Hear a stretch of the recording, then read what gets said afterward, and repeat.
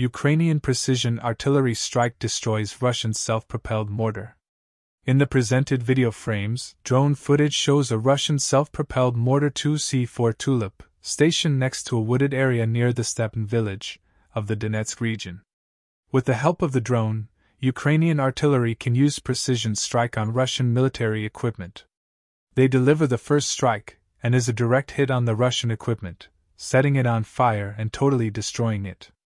The fate of the Russian crew is still unknown. This event was geolocated, jut in the south of the Stepin village, which is located close to the center of the Donetsk region.